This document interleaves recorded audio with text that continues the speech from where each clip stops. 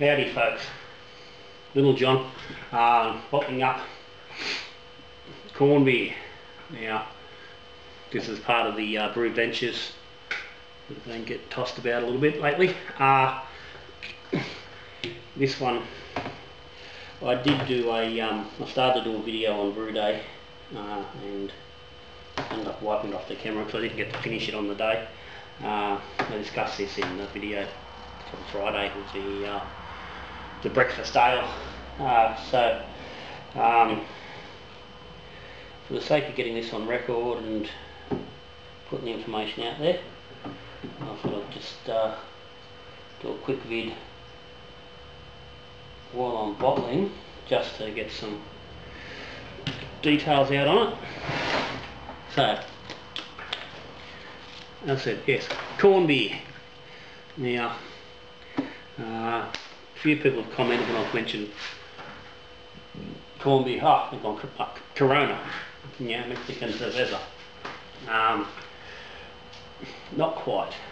Uh, now, it is well uh, documented that Corona has a whack of corn in it, but it's a long way short of actually being, yeah, a corn beer. It's not just made with corn. Um, or with high numbers. Um, I can't actually locate, I haven't been able to find any real clear numbers, but any information that is out there uh, on ingredients says that it's barley, corn, hops and yeast. Um, now, under most conventions, that means barley is the largest ingredient. Um, so, given it's only barley, so it's at least at least 51% barley, um, and probably a bit less than probably well less corn than 50%. So this varies in the fact that this beer has actually been made with it's what 60%. 60% flake, well, I didn't actually use flake corn, I used polenta, uh, did a polenta mash, um, basically just boiled up heap of polenta, um, stuck that into the uh, into the Robobrew and then mashed into that uh, the barley. Now I did put alpha amylase in with the polenta before that to break it down uh, and to convert the sugars that were in there just to make sure there was enough enzymes to get it fully converted. Uh, I wasn't sure that the barley was going to be enough on its own and that was the barley was actually um,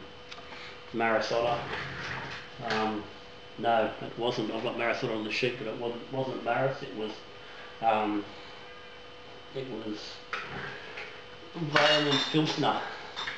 So, uh, that's where the grain bill is. Um, just mash normal from that point. Uh, original gravity was 1046. Uh, fermented this with just US-05 at um, 16 degrees, top of my head. Just check the numbers. Uh, 05. Actually, that's a lie. It was actually at the ambient here in the garage. Uh, right, was too an ambient, so it was around 18 degrees. Uh, then went in the fridge just for a quick jump up to about 20. Um, finish off at 20 just to make sure it's done. Then I cold crashed it over a few days. And we finished up with a final gravity for around 10-15, um, which has surprised me, it's, it's so high. Uh, and again, I don't know whether that's contributed from the corn or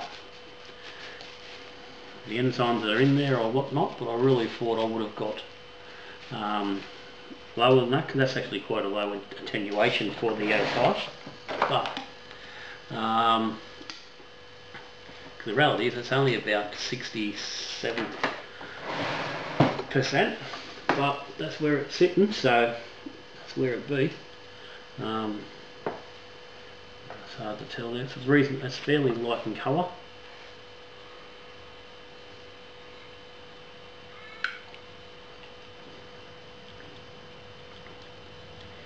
and it smells every bit like you expect it to and tastes like you expect it to. Very very light uh, a little bit of corn sweetness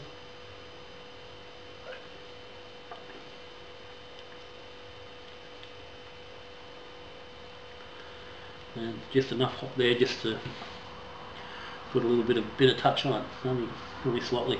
Um, the hops were uh, I used Galena at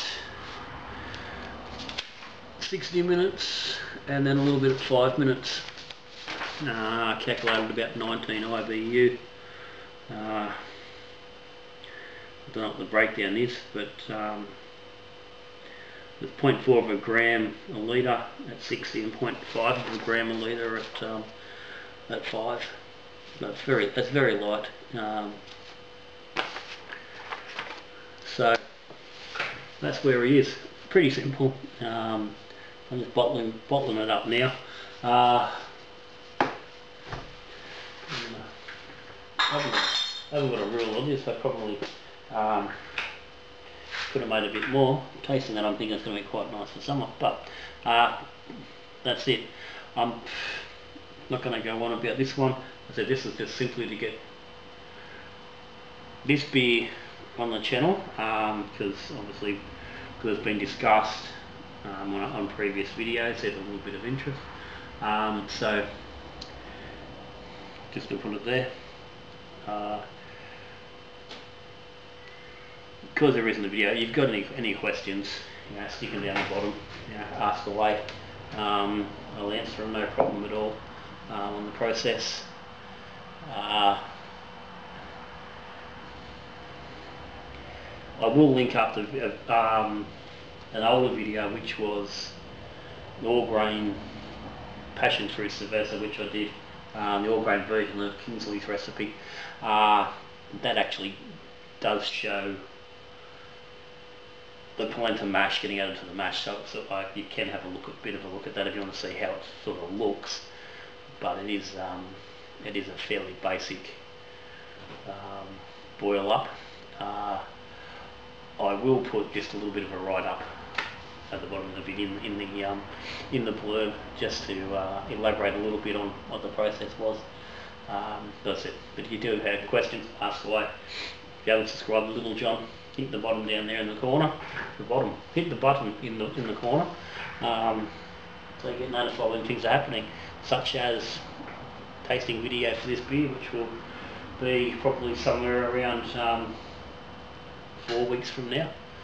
Uh, maybe even five. Give it uh, might take three weeks to carb up here in the garage this time of year. It's holding pretty good temperatures, but we've been lucky. We haven't really plunged into winter too badly yet.